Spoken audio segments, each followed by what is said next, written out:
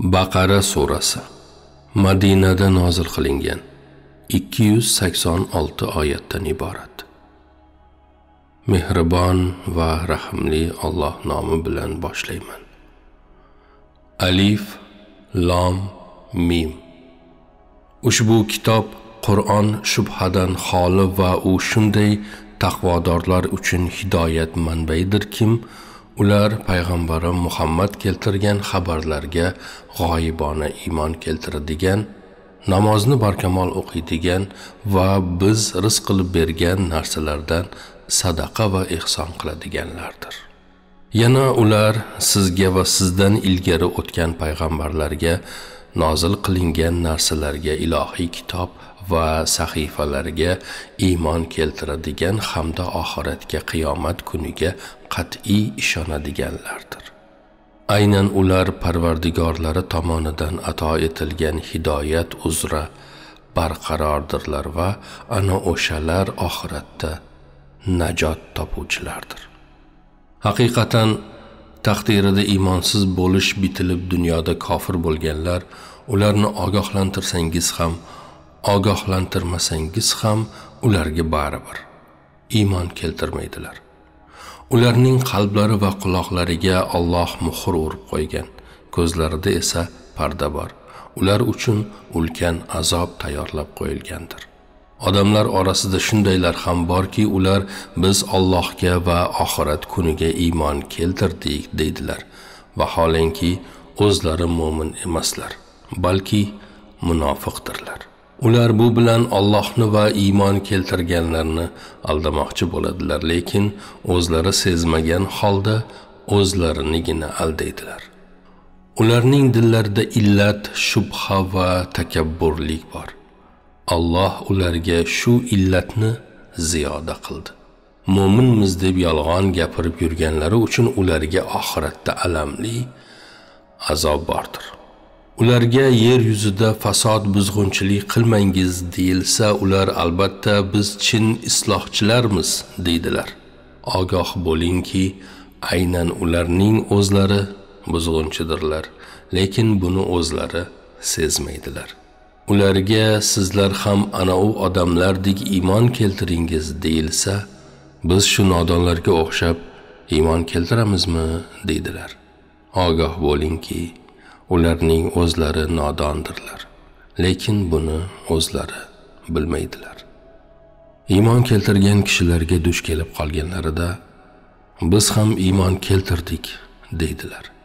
O'z shaytonlari boshliqlari bilan xoli qolganlarida esa biz albatta sizlar bilan birgamiz faqat biz mo'minlarni mazax qiluvchilarmiz xolos deydilar. Alloh ularni mazax qiladi va ularning shu haddan oshganlaricha adashib yurishlariga ma'lum muddatgacha qo'yib beradi. Hidoyat to'g'ri yo'l o'rniga zalolatni noto'g'ri yo'lni sotib olganlar o'shalardir. Lekin ularga bu savdolari foyda qilmadi va ular hidoyat yo'liga yuruvchi ham bo'lmadilar. Ular bamisoli bir olov yoqqan yo'lovchi kimsadirki olov uning atrofini yoritganida Alloh bexosdan olov nurini ketkazib ularni zulmatlar ichra hech narsani ko'rolmaydigan holda qoldirgan. Ular ma'nan kar soqov va ko'rdirlar. Bas ular zinhor hidoyatga qaytmagaylar. Yoki yana bir o'xshatish osmondan jala keltiruvchi bulut kabidirlarki unda quyuq zulmat momaqoldiroq va chaqmoq bo'lib ularning ta'siri va yashinlar tufayli o'lishdan qo'rqib barmoqlarini quloqlariga tiqib olurlar. Alloh esa kofirlarni xohlagan paytda har tomonlama qurshab oluvchidir. Chaqmoq ularning ko'zlarini ko'r qilgudek darajada bo'lib u har gal yoritganida ozgina yurib oladilar. Qorong'ulikka kirganlarida esa yura olmay turib qoladilar. Agar Alloh xohlasa edi momaqaldiroq ovozi chaqmoq va yashin bilan ularni quloq va ko'zlaridan mahrum qilgan bo'lar edi. Zero Alloh har narsaga qodir zotdir. Ey insonlar sizlarni va sizlardan oldingilarni taqvoli bo'lishingiz uchun yaratgan robbingizga ibodat qilingiz. U sizlar uchun yerni poyandoz osmonni bino qilib qo'ydi va osmondan suv tushirib u sababli sizlarga rizq sifatida mevalar mevali daraxtlarni undirdi. Bas bilib turib allohga ibodatda boshqalarni soxta ma'budlarni tenglashtirmangiz. Agar bandamizga muhammadga tushirgan narsamizdan qur'ondan shubhada bo'lsangiz bas siz ham unga o'xshash birgina sura yozib keltiring va allohdan o'zga guvohlaringizni chaqiring.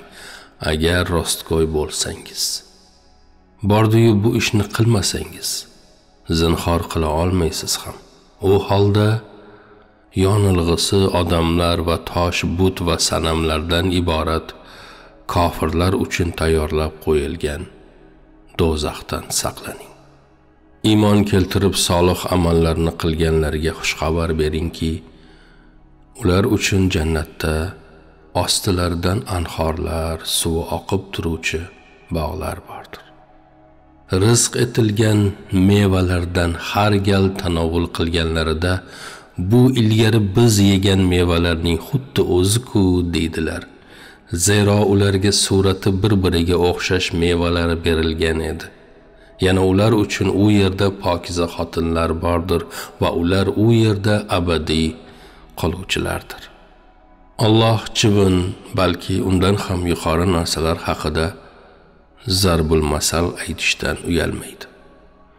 Iymonli kishilar-ku uni masalni haqiqatdan o'zlarining Rabbi tomonidan yuborilgan haq narsa deb biladilar. Kofirlar esa bu masal bilan Alloh nima demoqchi o'zi deydilar. U masal bilan Alloh ko'plarni adashtiradi va u bilan ko'plarni to'g'ri yo'lga hidoyat qiladi. Lekin Alloh u bilan faqat aslida betaffiq bo'lishi muqarrar fosiqlarnigina adashtiradi. Qaysiki ular Alloh ahdini uning bitimidan keyin buzadigan Alloh bog'lanishiga buyurgan narsalarni uzadigan va yer yuzida buzg'unchilik qiladigan kimsalardir. Ular albatta ziyon ko'ruvchilardir. Ey mushriklar, o'lik ekaningizda sizni tiriltirgan, so'ngra sizga yana o'lim beradigan, keyin sizni tiriltirgach siz huzuriga qaytariladigan Allohni qanday inkor etasiz? U zot shunday zotki, sizlar uchun yerdagi barcha narsalarni yaratdi. So'ngra samo sari turdi-da, uni 7 qavat osmondan iborat qilib qo'ydi. U barcha narsani biluvchi donodir. Eslang ey Muhammad, Robbingiz farishtalarga men yerda xalifa odam yaratmoqchiman deganida ular aytdilar. Unda yerda buzg'unchilik qiladigan, nohaq ravishda qonlar to'kadigan kimsani yaratmoqchimisan? Holbuki biz senga hamding bilan tasbihlar aytamiz va seni muqaddas deb bilamiz. Alloh aytdi: Albatta, men sizlar bilmagan narsalarni bilurman. Alloh odamga barcha yaratgan va yaratilajak narsalarga tegishli nomlarni o'rgatdi. So'ngra ularni farishtalarga birma-bir ko'rsatib dedi: Agar e'tirozingizda rostgo'y bo'lsangiz, ana u narsalarni nomlari bilan menga aytib beringiz. Ular dedilar: Zoti poking haqqi bizda o'zing bildirganingdan o'zga ilm yo'qdir. Albatta, sen dono va hakimdirsan. Alloh aytdi: Ey odam, ularga mazkur narsalarning nomlari bilan aytib ber. Ularga nomlarini aytib berganida u dedi: Men osmonlar va yer sirlarini sizlar oshkor qilayotgan va yashirib yurgan narsalaringizni bilurman demaganmidim. Eslang ey Muhammad, biz farishtalarga odamga sajda qilingiz deb buyurishimiz bilan ular sajda qildilar. Faqat iblis bosh tortib takabburlik qildi va kofirlardan bo'ldi. Biz yana aytdik ey odam sen va jufting havvo jannatda yashangiz va xohlagan joylaringizda undan ne'matlaridan bemalol tanovul qilingiz. Faqat mana bu daraxtga yaqinlashmangiz aks holda zolimlardan bo'lib qolursiz. Bas shayton ikkisini vasvasa bilan undan chalg'itib turgan joylaridan jannatdan chiqardi. Biz ularga aytdik bir biringizga kelajak zurriyotingiz bilan o'zaro dushman holingizda yerga tushingiz. Ma'lum vaqtgacha ajal yetguncha sizlar uchun yerda qaror topish va undan foydalanish bordir. Bas odam robbidan tavbaga doir kalimalarni qabul qilganidan so'ng Alloh uning tavbasini ijobat etdi albatta u tavvob tavbani qabul qiluvchi va rahim rahmlidir u yerdan jannatdan hammangiz tushingiz dedik. Bas sizlarga mendan hidoyat kelganda hidoyatimga ergashganlarga xavf yo'qdir va ular tashvish ham chekmaydilar. Kofir bo'lgan va oyatlarimizni yolg'onga chiqarganlar aynan o'shalar do'zax ahlidirlar. Ular o'sha yerda abadiy qoluvchidirlar. Ey isroil avlodi sizlarga in'om etgan ne'matlarimni eslangiz. Sizdan olgan ahdimga vafo qilingiz. Toki sizdan menga bergan ahdingizga vafo qilay va mendangina qo'rqingiz. O'zingizdagi narsa tavrot va injilni tasdiq etuvchi holda nozil qilgan narsam qur'onga iymon keltiringiz. Uni birinchi bo'lib inkor etuvchi bo'lmangiz. Oyatlarimni o'zgartirish evaziga beriladigan ozgina bahoga sotmangiz va mendangina qo'rqingiz. Haqni nohaqlik bilan qorishtirmangiz hamda bila turib haqiqatni yashirmangiz. Namozni barkamol o'qingiz zakot beringiz va ruku qiluvchilar namozxonlar bilan birga ruku qilingiz. Namoz o'qingiz. Kitob tavrot va injilni o'qib turib odamlarni yaxshilikka buyurasizu o'zingizni unutasizmi? Aqlni ishlatmaysizmi? Allohdan sabr va namoz ila yordam so'rangiz darhaqiqat u namoz og'ir ishdir. Illo itoatli hokisor kishilarga og'ir emas. Ular itoatlilar robbilariga oxiratda yuzma yuz bo'lishlarini va uning huzuriga qaytajaklarini haq deb bilurlar. Ey isroil avlodi sizlarga in'om etilgan ne'matlarimni va sizlarni olamlar uzra afzal qilganimni eslangiz biror jon biror narsada boshqa jonning o'rniga o'tmaydigan undan shafoat ham qabul qilinmaydigan va gunohlar uchun badal ham olinmaydigan hamda ularga yordam berilmaydigan kundan qiyomat kunidan qo'rqingiz. Sizlarni muso qavmini og'ir azoblar bilan qiynagan qizlaringizni tirik qoldirib o'g'illaringizni qatl etayotgan fir'avn navkarlaridan qutqarganimizni ham eslangiz bunda robbingizdan sizlarga ulkan sinov bordir. Sizlar sababli o'tib olishlaringiz uchun dengizni 12 yo'lakka bo'lib sizlarni qutqarganimiz. Ko'z o'ngingizda fir'avn lashkarlarini g'arq qilganimizni ham eslangiz. Muso bilan 40 kecha va'dalashganimiz undan huzurimizga kelganidan keyin sizlar o'zlaringizga zulm qilgan holingizda buzoqqa sig'inganingizni eslangiz. So'ngra o'shandan keyin ham shukur qilarsiz deb sizlarni avf etdik. To'g'ri yo'lga tusharsizlar deb musoga kitobni tavrotni va haq bilan nohaqni ajratuvchi furqonni berganimizni eslangiz. Musoning o'z qavmiga ey qavmim sizlar buzoqqa sig'inish bilan o'zingizga zulm qildingiz. Endi o'zingizni bir biringizni o'ldirish bilan yaratganingizga tavba qilingiz. Yaratganingiz nazdida shu qatl sizlar uchun yaxshiroqdir degan so'zini eslang. Shunday qilib Alloh tavbangizni qabul etdi. Albatta u kechirimli va rahimlidir ey muso allohni oshkora ko'rmagunimizcha senga hech ham ishonmaymiz deyishingiz bilan ko'z o'ngingizda sizlarni chaqmoq urganini ham eslangiz. So'ngra shukur qilursizlar deb o'lganingizdan keyin yana sizlarni tiriltirdik. Shuningdek ustingizga bulutlarni soyabon qildik. Samoviy noz ne'matlar va pishirilgan bedanalar nozil etib sizlarga rizq sifatida berilgan pok narsalarni yenglar dedik. Ular isroil avlodlari itoatsizliklari bilan bizga zulm qilmadilar balki o'zlarigagina zulm qildilar.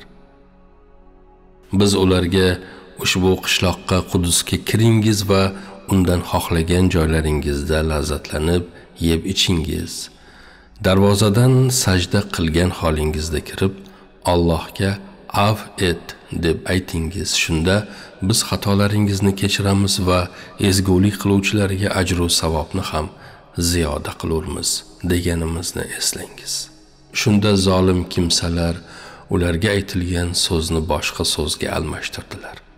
Bas qilgan bu buzuqchiliklari tufayli biz zulm qilganlar uzra osmondan balo yog'dirdik eslang ey isroil avlodi muso o'z qavmi uchun suv so'raganida asoyingni toshga ur dedik.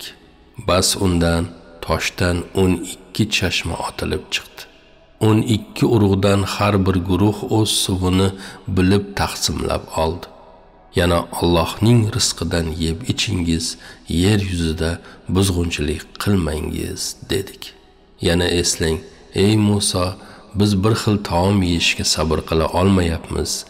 Robbingdan duo qilib so'ra bizga yer o'zidan undirib chiqaradigan bodring sarimsoq mosh loviya piyoz kabi sabzavotlardan yetishtirib bersin deganingizda u yaxshi narsani past narsaga almashtirmoqchimisizlar?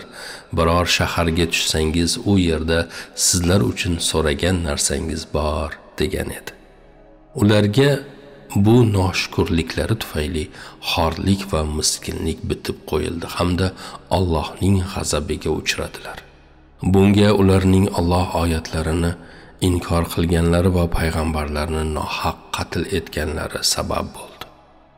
Yana boshqa sababi esa ularning itoatsizliklari va tajovuzkorliklaridir. Albatta mo'minlar shuningdek yahudiylar nasroniylar va sobiylardan kimki allohga va oxirat kuniga iymon keltirsa hamda solih amallarni qilsa ularga robbilaridan ajr bordir. Ularga xavf yo'qdir va ular tashvish ham chekmaslar. Eslang ey isroil avlodi biz ahdu paymoningizni olgan edik va tepangizda tur tog'ini ko'tarib turib sizga keltirgan narsamizni tavrotni mahkam tuting va undagi narsa oyatlarni zikr eting shoyat shunda taqvoli bo'lsangiz degan edik. Keyin o'shandan so'ng vafodan yuz o'girdingiz. Agarda sizlarga allohning fazli va rahmati bo'lmaganida edi albatta ziyon ko'ruvchilardan bo'lib qolar edingiz. Shanba kunida sizlardan tajovuz qilganlarni bildingiz. Biz ularga qadrsiz maymunlarga aylaningiz dedik. Biz buni ulardan oldingi va keyingi davr uchun ibratli jazo taqvoli kishilar uchun esa nasihat manbai qildik. Eslang. Muso o'z qavmiga olloh sizlarni biror sigir so'yishga buyurdi deganida ular bizni istehsoga tutyapsanmi dedilar. Muso dedi johillardan bo'lib qolishimdan meni olloh asrasin. Ular dedilar robbingdan biz uchun duo qilib so'ra bizga u sigir qanaqaligini bayon qilsin muso dedi. U aytmoqdaki u qari ham yosh ham bo'lmagan o'rta yoshdagi sigirdir. Bas sizga buyurilgan narsa ishni qilingiz. Ular dedilar robbingdan biz uchun duo qilib so'ra bizga uning rangini bayon qilsin muso dedi. U aytmoqdaki u yarqiroq sarg'ish rangli sigir bo'lib ko'rganlarni quvontirur. Ular dedilar robbingdan biz uchun duo qilib so'ra uning qanaqaligini bayon qilsin. Zero bizga sigirlar bir biriga o'xshash tuyuldi. Xudo xohlasa biz albatta to'g'ri yo'lni topuvchilarmiz. Muso aytdi u aytmoqdaki u shunday sigirki yer haydashga ham ekinlarni sug'orishga ham o'rgatilmagan. Nuqsonsiz unda sarg'ish rangidan boshqa rang yo'q. Ular endi haqiqatni keltirding deb uni o'sha sifatlarga ega sigirni zo'rg'a topib so'ydilar. Vaholanki bu ishni qila olmasliklariga sal qolgan edi. Eslang. Bir insonni nohaq o'ldirib shu sababli janjallashib qolgan edingiz. Holbuki Alloh siz yashirgan narsalarni sirlarni yuzaga chiqaruvchidir. Dedik uni murdani uning so'yilgan sigirning bir bo'lagi bilan uringiz alloh o'liklarni xuddi shu kabi osongina tiriltiradi va aql ishlatishingiz fikr yuritishingiz uchun sizlarga bu dunyoda o'z alomatlarini ko'rsatadi. So'ngra shunday mo'jizalarni ko'rgandan keyin ham dillaringiz qotdi. Bas ular ba'zi dillar tosh kabidir balki undan ham qattiqroqdir. Zero shunday tosh ham borki undan anhorlar otilib chiqadi. Yana shunday ham borki yorilib undan suv chiqadi va yana shunday ham borki Allohdan qo'rqib joyidan qulaydi. Alloh sizlarning qilayotgan ishlaringizdan g'ofil emasdir. Ular isroil avlodlarining sizlarga ishonishidan umid qilyapsizmi ey musulmonlar? Vaholanki ulardan bir guruhi allohning kalomini eshitib anglab olganlaridan so'ng bila turib uni o'zgartirar edilar-ku. Ular yana iymonli kishilar bilan uchrashganlarida iymon keltirdik deyishar.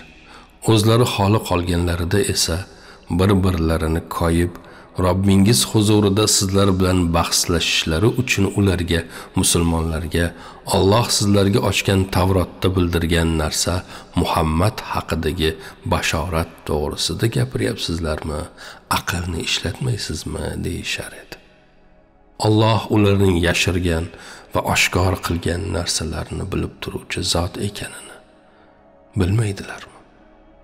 Ularning ichida yozuvni bilmaydigan, faqat xayolot bilan gumonsirabgina yuradigan omilari ham bor albatta. Ammo o'z qo'llari bilan yozuvni bitib, so'ngra uni arzimagan bahoga sotish uchun bu kitob Allohning huzuridandir deydigan kimsalarning holiga voy. Bas o'z qo'llari bilan yozganlari ham topgan foydalari ham o'zlariga falokat bo'lur. Ular yahudiylar deydilar. Bizlarga do'zax sanoqli oz kunlardagina tegar. Ularga ayting olloh huzurida shunga ahd qabul qilgansizu olloh ahdiga xilof qilmasmi? Yoki Alloh nomidan bilmagan narsalaringizni gapiryapsizmi? Yo'q aslo.